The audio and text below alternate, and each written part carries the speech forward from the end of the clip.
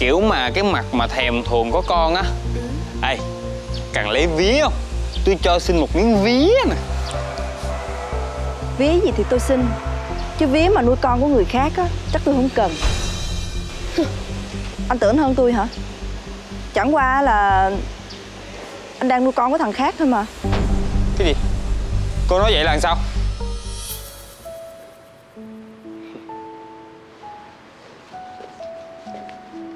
kem cho Cái gì vậy? Thôi kem nhiên dục kem diễn ra trong kia rồi sao thoá? Thì thôi. Thôi giờ thoa kem gì nữa? Khỏi thoa kem nữa. Bây giờ anh với em á Chuẩn bị săn rồng vàng cuối năm. Nhé Đang thoa mà dòng vàng cái gì? Gì vậy em? Sao lần nào em cũng né anh như né tà vậy Hay là ở với anh á Em cảm thấy không vui. Ở với anh em cảm thấy không hạnh phúc. Em nói đi. Sao ngày nào anh cũng nói với em câu đó hết vậy? Em đã nói rồi là em đang thoa kem. Anh cứ sáp sáp như vậy nó trôi hết rồi chút nữa mất công em thoa lại. Ủa chứ em cứ vậy sao anh không nói cho được? À Anh hiểu rồi. Hay là em có thằng nào ở ngoài Cho nên là em chán anh đúng không? Đúng rồi chứ gì? Sao anh cứ suy nghĩ lung tung hoài vậy? Tụi mình là vợ chồng với nhau Trước không có thì sau cũng có. Chứ cái gì mà anh cứ hối em hoài à. Anh làm như vậy á, Em càng áp lực thêm á. Miệng em nói là vợ chồng, Mà sao anh thấy Em với anh không có cảm xúc gì luôn á? Em với anh giống như là, Giống như là hai người ở đâu về ở trọ chung vậy đó. Em có thấy vậy không? Thôi mệt quá. Em muốn làm gì làm chuyện của em. Anh ra ngoài anh ngủ.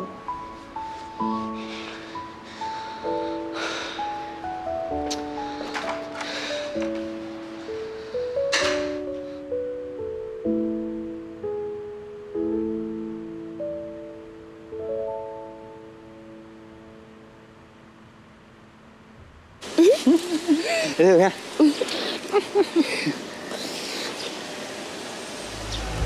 wow. Chà Thành phố này bé thật. Đi đâu cũng đụng mặt chan chát ha. Đi đâu vậy? Sao vậy? Bộ có xấu hổ tới mức không dám chạm mặt tụi này nữa hả? Kẻ thua cuộc. Em tính ra là anh bỏ những cái loại người như vậy đâu có sai đúng không? Chứ lấy phải cô ta về không có con có phải là nhà anh vô phúc vô hậu không? Mà tôi nghe nói Tới bây giờ cô vẫn chưa có con cho chồng mới luôn đó hả? Hay là tiệt lít luôn rồi? Cô nhìn nè Con của tôi á Giống y chang anh Vũ luôn vậy đó. Cái mặt có cưng dễ sợ luôn vậy. Sao? Nhìn cái mặt kìa. Kiểu mà cái mặt mà thèm thuồng có con á. Ê cần lấy vía không? Tôi cho xin một miếng vía nè. Vía gì thì tôi xin. Chứ vía mà nuôi con của người khác á Chắc tôi không cần. Anh tưởng hơn tôi hả? Chẳng qua là Anh đang nuôi con của thằng khác thôi mà. Cái gì? Cô nói vậy là làm sao? Nè Anh làm cái gì mà mất tích cả tháng nay vậy hả Anh tính không chịu trách nhiệm với mẹ con tôi đúng không? Trách nhiệm cái gì? Tao đang đánh bài thua nghe Bị giang hồ nó dí Không có nói nhiều. Tránh ra. Không có tránh gì đâu hết á. Anh nói được những lời đó đó hả? Con của anh ở trong bụng của tôi đó. Trong bụng mày thì kệ mày. Tao đang bị giang hồ dí nó đòi nợ tao. Có tiền trả cho tao không mà đòi nó trách nhiệm. Ủa tao nghe nói mày á là kiếm được thằng đổ vỏ rồi mà. Kiếm tao làm gì nữa? Tao đang xui nha à, Kiếm gỡ mà cũng gỡ không được nữa Có tiền không? Đừng mới xài ơi Tôi mới có. Có tiền bạc gì đó Đây Nè làm gì vậy? Bỏ ra tôi là tôi không có có mà. Làm gì vậy? Bỏ buông ra Có tiền mà giấu hả? Tiền của tôi. Coi như tao mượn đổi số tiền này của mày Tao đi gỡ lại. Còn con tự lo đi.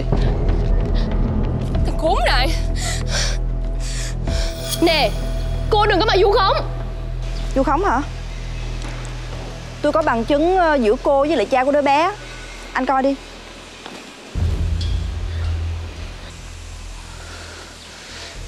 Con quỷ cái. Thì ra từ trước tới giờ. Mày lừa dối tao đúng không? Hả? Cũng tại mày hết đó. Mày không có con được. Nên bây giờ mày ganh tị mày phá tao chứ gì? Đã làm sai mà còn lớn lối nữa hả? Anh Các người đúng là nồi nào úp dung đó. Tôi thấy hợp thiệt đó. Mày nói tao hả?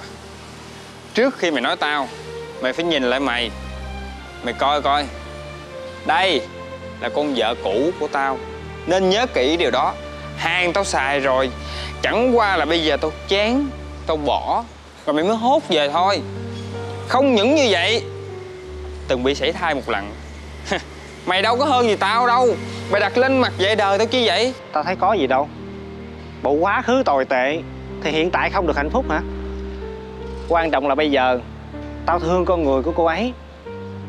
Còn đỡ hơn Mày nuôi con của người khác mà mày không biết kìa. Mày! Tụi bay giỏi lắm. Sao? Nghe gì chưa? Hả? Vừa lòng cô chưa? Cái thứ đàn bà lăn lộn dối trá Ừ. Tôi lăn loàn dối trá đó thì sao? Còn đỡ hơn cái thứ đàn ông ruồng bỏ vợ con của mình như anh. Cãi nhau làm cái gì nữa? Đây là cái kết quả xứng đáng dành cho hai người rồi mà. Đây nè. Con của ai? Tự người đó nuôi. Tôi không liên quan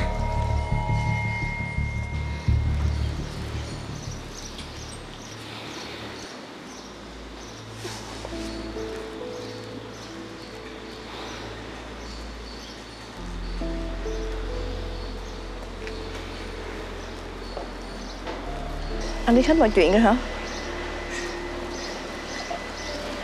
Em xin lỗi.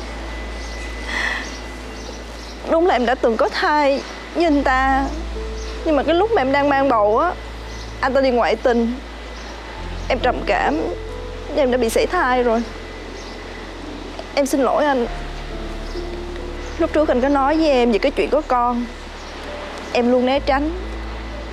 Là tại vì em chưa quên được quá khứ. Em chưa sẵn sàng làm mẹ. Em xin lỗi. Anh có trách, có la, có chửi, có đánh em cũng được Em đều chịu hết. Có. Sao tự nhiên trách Sao tự nhiên đánh em? Nghe anh hỏi nè Em chịu đựng như vậy lâu chưa? Sao không nói anh biết? Có hay ho gì đâu mà nói. Nhưng mà bọn anh không trách quá khứ của em. Đã dễ dãi với người không ra gì hả? Có gì đâu mà trách Ai cũng có quá khứ mà. Quan trọng là mình phải biết gạt bỏ đi Để mình sống tiếp. Mà với lại trong câu chuyện này á, Người thiệt thòi nhất là em. Em phải chịu nhiều đau đớn mà. Anh phải bên cạnh em Để chăm sóc cho em. Chứ sao tự nhiên trách em được, Đúng chưa? Thôi nè, Không có gì đâu mà sợ. Có anh ở đây rồi. Bây giờ anh hứa với em á, Anh sẽ làm người ba tốt, Sẽ làm người chồng tốt nếu như mà em chưa sẵn sàng thì à, không sao đâu. Anh lấy em về á, là để anh với em hạnh phúc. Còn con, có cũng được, không có cũng không sao.